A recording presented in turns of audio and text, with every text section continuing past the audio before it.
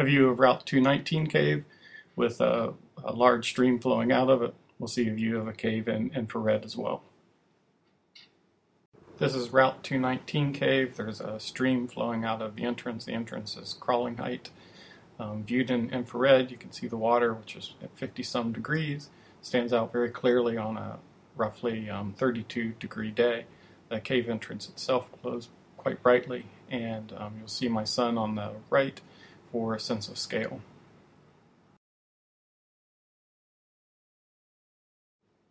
So a summary side-by-side -side shot of Route 219 cave in visible light and infrared.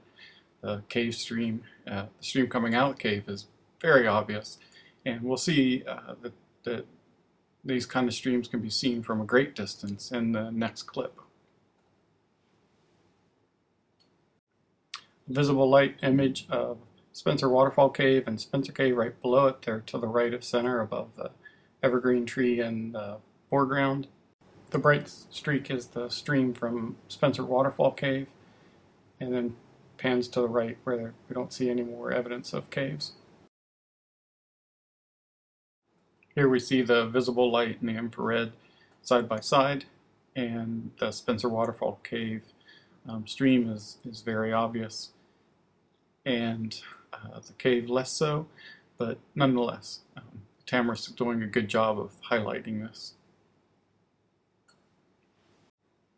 a visible light image of a dig on Friars Hill Road near Carol Bassett's house. The dig wasn't really moving in the air on this day, and uh, we'll look at it in infrared, and it's pretty unremarkable in infrared. And uh, looking around the hillside, uh, you'll see that also in infrared there doesn't appear to be any blowholes on this particular day. It was about 32 degrees outside.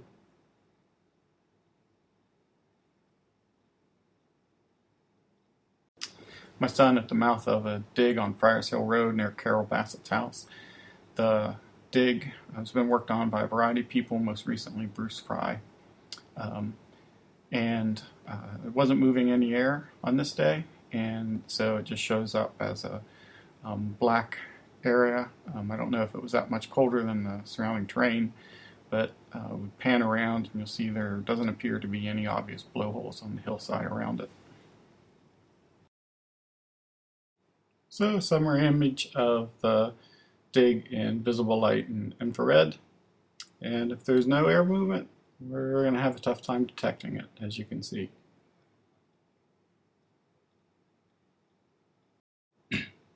They're looking at a blowhole and behind Bill Balfour's house in uh, Eunice.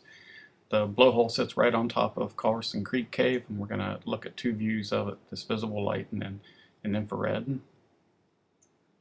the um, hole without anybody around it, obviously not, not uh, readily seen. Um, contrast that with the infrared.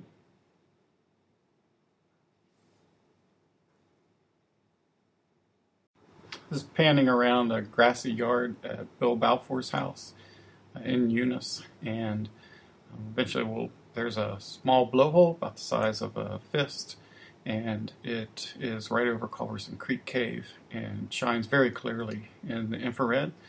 Um, small, so easily overlooked, and um, there at the end you'll see my son for, for scale.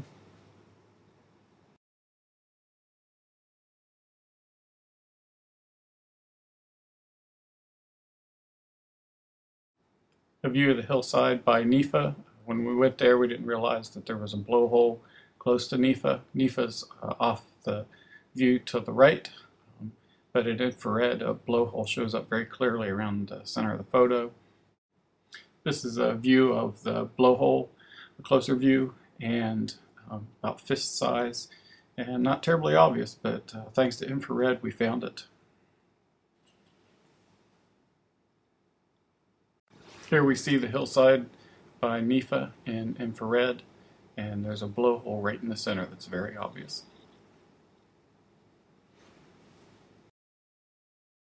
a side-by-side comparison of the blowhole by the Nepha dig in visible light and infrared. And um, as we saw in the, the earlier clips, um, the blowhole stands out very prominently. So Tamarisk offers a lot of promise for, for finding caves in, in future digs. Rounding things out, we see a picture of the Tamarisk 320 here. Uh, its dimensions are roughly two inches across, so very small. And um, as we saw, very, very useful.